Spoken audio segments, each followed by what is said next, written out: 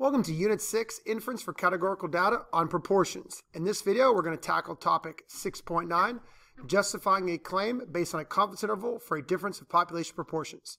So we already learned how to find a confidence interval for a difference of population proportions. Now we're going to really kind of just dive a little bit deeper. In this video, we're going to talk about several different things that just kind of look at the details a little bit more. And a lot of them should sound familiar when we talked about confidence intervals for a single population proportion. Now we're just going to be kind of directing that towards the difference of population proportions. So um, what we're going to talk about is what does C percent confidence mean? The more times you hear this from me, the better, because this is typically a multiple choice or even an FRQ question on the AP Stats test. I want to make sure that you truly know what a confidence level means. Uh, we want to talk about the width of an interval. Uh, we want to talk about how to correctly interpret an interval, which we already talked about in the previous topic. But boy, it's so important to understand how to interpret an interval when you are looking at the difference between two population proportions. So we're going to kind of reemphasize that. And then we're going to finally talk about how to justify a claim with a confidence interval, which is the name of this video, is the name of this topic at least, but it's very, very simple. Should make a lot of sense. All right, let's first make sure you know what C percent confidence means. So a very common level of confidence is 95%. So what the heck does 95% confident really mean? Well, in a nutshell, it means that in repeated sampling with the same sample size, approximately 95% of confidence intervals created will capture the true difference between the population proportions. Make sure you understand that your confidence is not a probability or it's not a chance.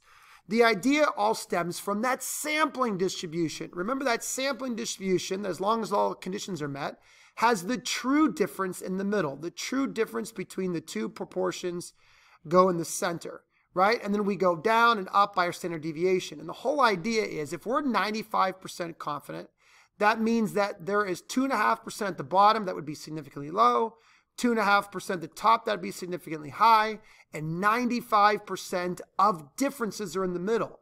Remember, sampling distributions don't just show one thing, they show many, many, many possible differences. So our difference that we find between our two samples you know, if you had to put your money on where you think that difference fell, it's going to fall right here in the middle somewhere. It would be really weird to fall towards the bottom or really weird if it fell at the top. That's why we're very confident that our sample is one of the 95% of sample differences that fall in the middle. Remember, sampling distributions show you all possible differences. Even though we don't know the true difference that falls in the center, we know our sample difference. And the difference between our samples should definitely fall in the middle. And the idea is that, yes, we only have one interval. At the end of any of the problems that we've done, we only have one interval. But there are many intervals because each proportion, the one from population one and the one from population two, each proportion could vary, which means that the difference could vary a lot. Right? There's a whole lot of possible differences. But we're very confident that our difference is one of the ones in the middle 95%. Hence, when we create our interval, we will capture the truth. And again, if you think about it on a simple scale, if there were 100 intervals created based on 100 different differences, 95 of those intervals will contain the truth, the true difference, five will not. So that's kind of the idea, guys. It's really simple. It's not overly complicated. But you know what's there in bold, black, and white there at the top. That's kind of the big answer that you're going to get when somebody talks to you about what does 95% confidence mean. All right, let's talk about the width of the interval. All of this should sound very familiar. The idea is that you know we would always prefer a more narrow interval, right? A more narrow interval is going to be more accurate, but we want to maintain high confidence. So first, let's think about how the level of confidence plays a part. The level of confidence certainly plays a part into how big or how small your interval is. Simply put, more confidence produces a wider interval. If you're going to go from 99% to 95%, or I'm sorry, if you're going to use a 99% instead of a 95%, then your Z star is going to be bigger. And a bigger Z star is going to produce a bigger interval. So, you know, all things being equal, more confidence will be a bigger interval. Another way that another number at least that affects your margin of error, your intervals width, is the sample size. Bigger samples will always produce a more narrow interval. The sample sizes are in the denominator of the standard error formula. Hence, bigger samples will make the overall margin of error smaller, which is going to produce a more narrow interval, right? That's a very simple topic that we've been learning for a while. Bigger samples are flat out more accurate. So a bigger sample with more accuracy is going to lead to a smaller margin of error, hence a more narrow interval. So the idea is that we don't want to lower our confidence because if you lower your confidence, you will get a more narrow interval. But I don't want to do that. I want to be high confidence. I want to have 95, 98, 99% confidence. So if you want to maintain a high level of confidence, but still produce a very narrow interval that is accurate to what the truth is, bigger sample size will do it. So that's all a recap of something we've already learned a little bit ago. Just make sure that you really understand those ideas. All right, now let's talk about interpreting an interval for a difference. Now, a confidence interval for the difference between two proportions, and I'm being very vague here, very, you know, generic here, P1 minus two, P2. So if I have a proportion that's true for all of population 1 minus a proportion that's true for all of population 2, then only four things can happen, right? That difference could only produce an interval of four options. Either the entire interval is negative, or the entire interval is positive, or the low end is negative and the high end is positive, or the low end is positive and the high end is negative, okay? What matters most is that you understand what the numbers say in terms of comparison right? Because at the end of the day, we're comparing two things here. We're comparing population one to population two. So don't just inform, you want to compare. So the idea is if my entire interval is positive, that means that proportion one from population one would always be bigger. Because if I take P1 and it's always going to be bigger, then a bigger number minus a smaller number is always going to produce a positive. So if my entire interval is positive, that gives me a lot of confidence that the proportion from population 1 is going to be bigger. If the entire interval is negative, then that would happen if your proportion from population 2 is always bigger. Because the only way you're going to subtract these in this order and get a negative is if the second number is bigger. Now, if one end is positive and one end is negative, either way, it just means that they're alternating. For example, if the low end is negative, that means that, again, proportion 2 from population 2 would be bigger.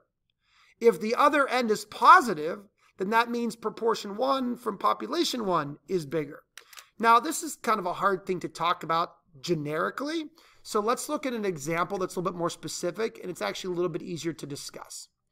Imagine if we were trying to figure out the difference between the proportion of boys that like school lunch and girls that like school lunch. And we were going to find this difference in terms of taking the boy proportion minus the girl proportion. Now, here are four different intervals. And what matters most is that you understand how these intervals allow me to compare. This first interval is all positive. All positive means that with, you know, who knows what level of confidence I have. Let's just say that these are all 95% confidence intervals. That with 95% confidence, I know that the boy proportion is going to be 15% more than the girl or to as high as 23% more than the girls. So this interval does give me a lot of confidence that the proportion of boys who like school lunch is bigger than the proportion of girls at school lunch. How much bigger is the question? Anywhere from 15 to 23% bigger. If the entire interval is negative, that means that my girls, my proportion of girls that like school lunch is going to be bigger. Again, how much bigger? Well, anywhere from 12% bigger to 26% bigger. Now, again, where do the negatives come into play? Well, again, just think. If I want this difference to be negative, the proportion of girls has to be bigger, or you could view it as the proportion of boys has to be lower. Either way, it's the same thing.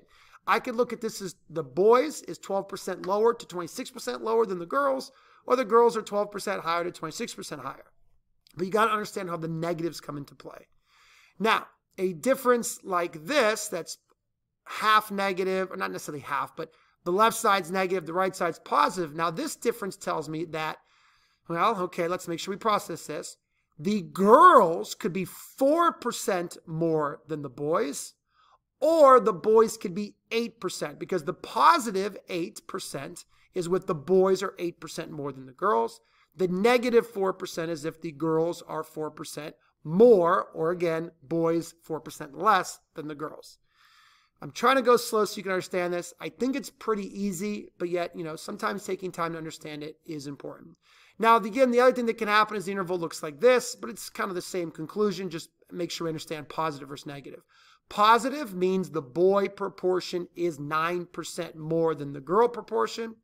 Negative means that the girl proportion is 7% bigger than the boy proportion, or the boy proportion is 7% less than the girls. So, you know, the important thing to understand here is if the entire interval is positive, that's giving you a lot of confidence that boys have a higher proportion of boys like school lunch than girls. If the entire interval is negative, that's going to give you a lot of evidence that the proportion of girls um, are more than the proportion of boys that like school lunch. When your interval is split, negative and positive, not even split perfectly in half, just negative on the left, positive on the right, or vice versa, that's showing you that either population, boys or girls, mm, could be higher than the other. And what we're going to talk about in one moment is that what you'll notice in both of these bottom intervals is that zero falls into them, which means that there could potentially be no difference between boys and girls. Okay? And that's where we finally get into this next part about justifying a claim. This is the importance of zero. Typically, when researchers are comparing the difference between two population proportions, they really just care about is there a difference? Is there a difference between these two population proportions? Or they're looking for is one per population proportion bigger than the other? Like, is the proportion of boys bigger than girls or vice versa? So they simply care about, hey, is there a difference? Don't really care if one's bigger than the other. I just care about, is there a difference or not?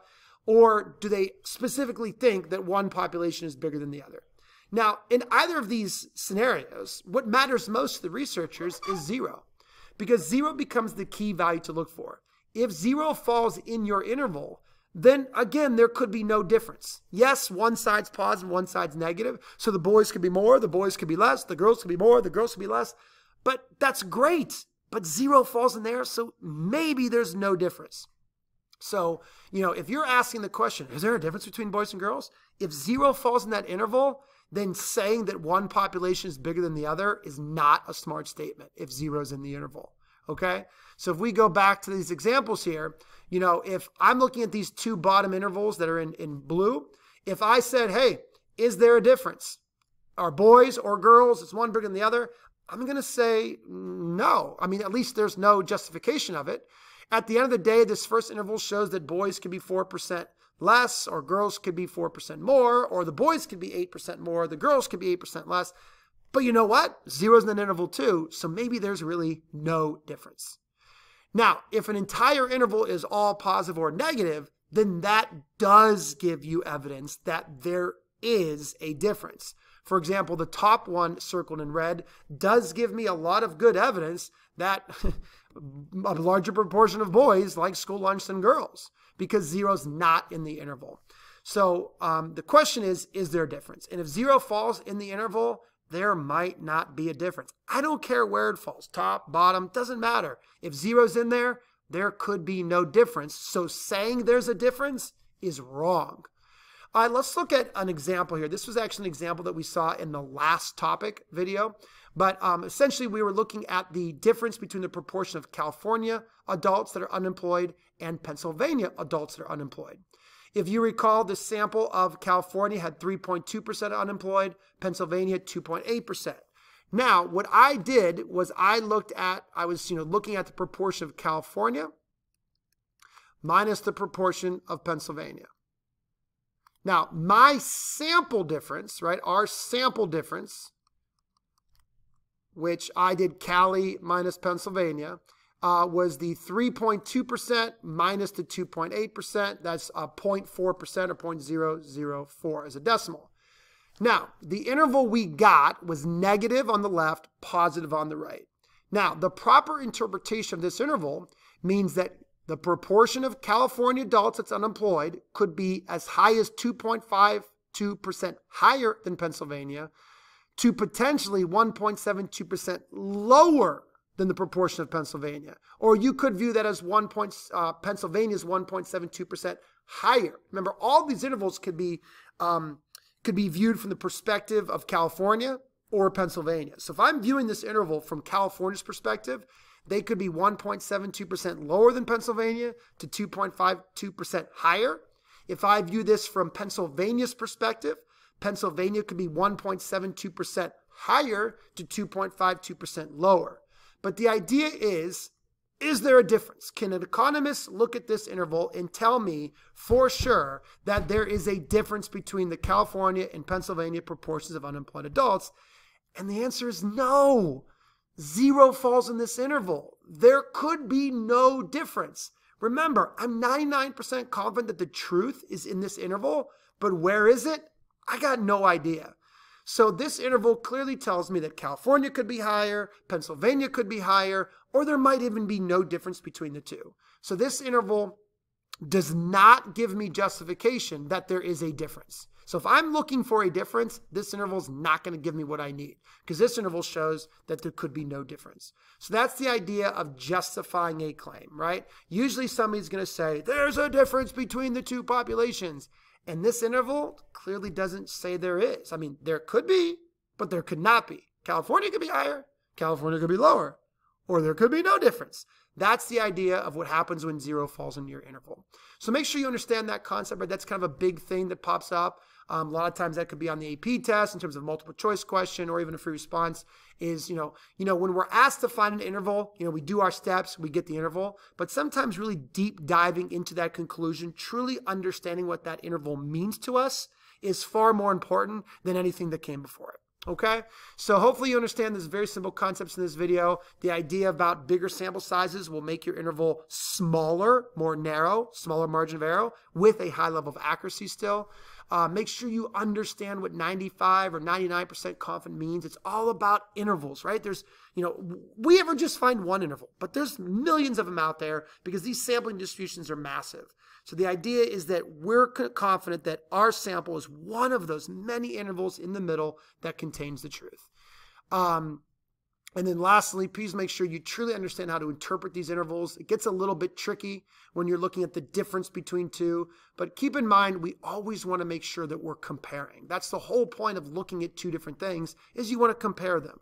So make sure you talk about statements and you express statements that are in context that are truly comparing. Higher, lower, bigger, smaller, no difference. There is a difference. Boys are higher, girls, you know, use those types of um, statements to truly make sure you explain what you're seeing. All right, guys, that's it for topic 6.9.